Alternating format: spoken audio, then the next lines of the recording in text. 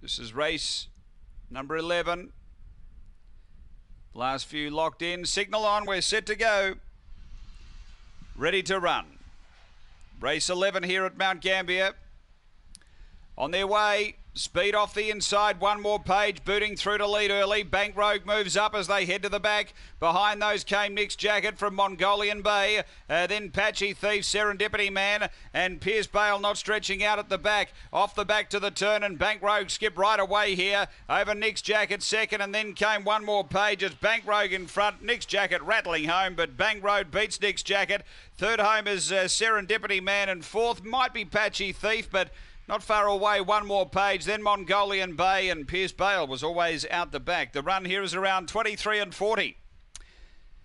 Bank Rogue, number three, uh, Kevin Ashton, a um, winner here, number three, a Black Dog, July 2013, Magic Sprite, Jay LaRogue. Number three. Second will be uh, seven, Nick's Jacket, Captain Abbott, a Black Bitch, December 2016, Collision, uh, Cyanide, and uh, third will be Serendipity Man. Number two, Richard Bohm. A Black Dog, July 2015. Don't knock a him, Your Highness. It's 372. Fourth we stand by for after race number 11. One gets fourth. Number